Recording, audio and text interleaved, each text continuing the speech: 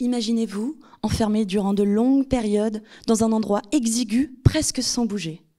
C'est ce que vivent les astronautes au cours de leur mission spatiale. Mais c'est aussi ce que nous avons tous expérimenté pendant le confinement. On a passé jusqu'à 8 heures par jour assis d'après une récente étude.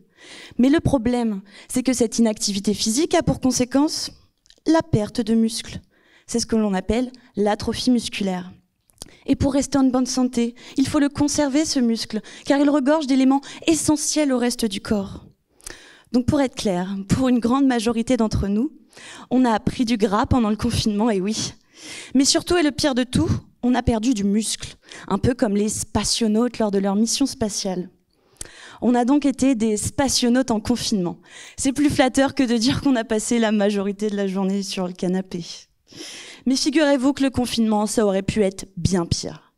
Alors, à l'heure actuelle, il est difficile de voir pire. Mais imaginez-vous non pas deux mois, mais six mois confinés. Seul, sans lumière, sans bouger car recroquevillé jambes contre tête. Sans manger Ça serait trop luxueux sinon. Cela paraîtrait une éternité, n'est-ce pas? Ce que je viens de vous décrire, c'est l'hibernation. Et c'est ce que réalise chaque hiver l'ours brun.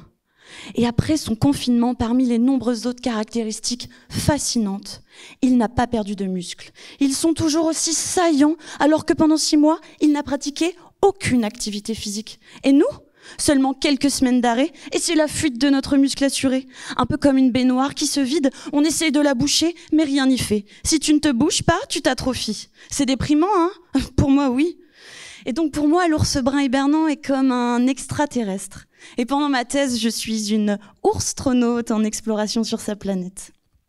Chez l'homme, quand on est confiné, astronaute ou pendant une longue période d'immobilisation, nos gènes et protéines fonctionnent différemment, ce qui conduit à l'atrophie musculaire.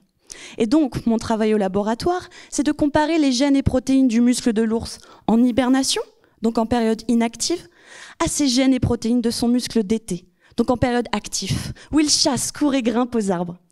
C'est un peu comme si je comparais chez l'humain son muscle pendant le confinement et son muscle après, où il chasse, court et grimpe aux arbres, enfin bref, pour comprendre comment l'ours conserve son muscle dans des conditions où il s'atrophie chez l'homme.